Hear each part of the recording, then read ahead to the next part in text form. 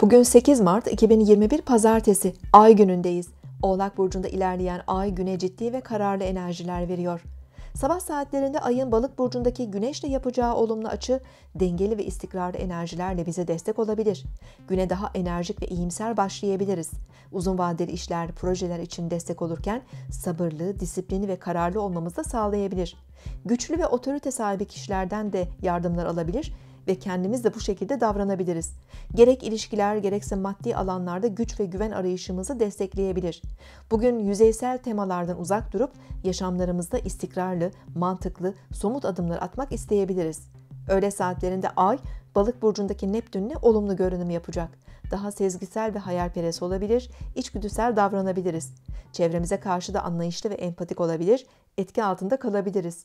Yükselen yaratıcı enerjiyi yeni ilhamlar almamızı da sağlayabilir. Gün içinde akışta kalmak, kendimize ve başkalarına karşı anlayışlı olmak kolay olabilir. Akşam ve gece saatlerinde Ay ve Plüton Oğlak burcunda birleşiyor. Daha yoğun ve güçlü duygular hissedebilir, durumları daha ciddi ele alabiliriz. Değer verdiğimiz kişilere karşı da korumacı olurken daha derin bağlar oluşturmak isteyebiliriz. Gece saatlerinde içe dönüp tefekkür etmek, hayatımızda kökten dönüştürmek istediğimiz kavramlara odaklanmak için güçlü farkındalıklar da verebilir. Siz de şimdi kanalımıza abone olun, yorumlar bölümüne sorularınızı yazın, sürprizlerimizden haberdar olun.